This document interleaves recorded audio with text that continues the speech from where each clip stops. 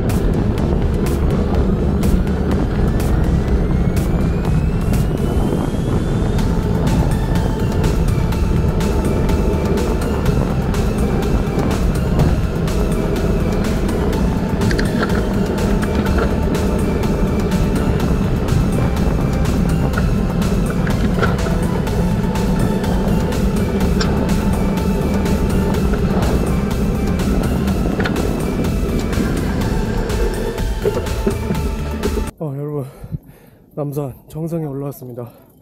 어, 영상을 편집하면은 제가 속도 몇으로 올라왔는지 알 수 있을 것 같은데 지금은 대략적으로 5분 정도 나온 것 같아요. 어, 남산에 거의 12년 만에 올라왔는데 5분이면 진짜 빨리 올라온 것 같습니다.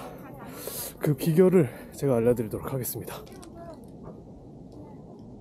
Thank you.